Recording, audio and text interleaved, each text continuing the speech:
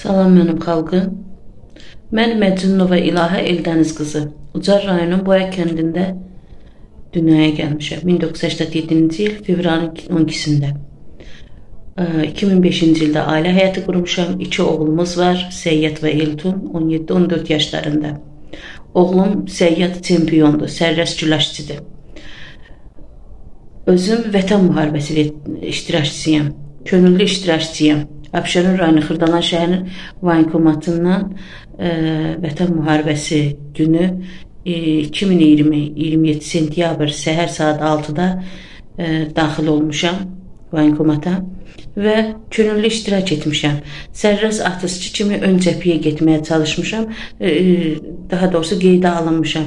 Xanım olduğuma görə məni e, necə deyim sizə, aparmadılar. Arxa cəbhədə çalışdım. Mən oğlum və yoldaşım avtomobil qəzasına düşmüşdülər. 1-7-8 e, il bundan öncə biz onda evimizi, hər şeyimizi satdıq, evsiz, eşiksiz qaldıq.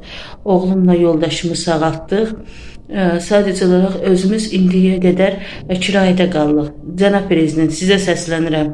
Məni bir xanım olaraq, iki oğul anası olaraq, iki əskər anası olaraq, özüm əskər olaraq sizdən xahiş edirəm ki, məni bir evinə təmin edəsiniz və e, Mehriban xanıma səslənirəm, Azərbaycanın birinci xanımına. Bizim Abşeron rayonu Xırdalan şəhəri hörmətli Abidin müəllimə səslənirəm. Mənsur müəllimə səslənirəm. Sizlərdən çox xahiş edirəm. Mənim bu səsimə səs verəsiniz, məni evlə təmin edəsiniz. Sizdən çox xahiş edirəm.